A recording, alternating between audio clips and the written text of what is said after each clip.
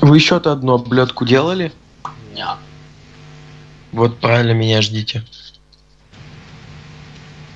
Доставай из машины.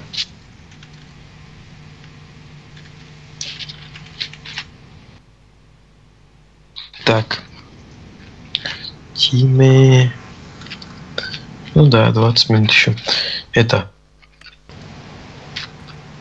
Что хотел посмотреть? Вон он. Где, на улице?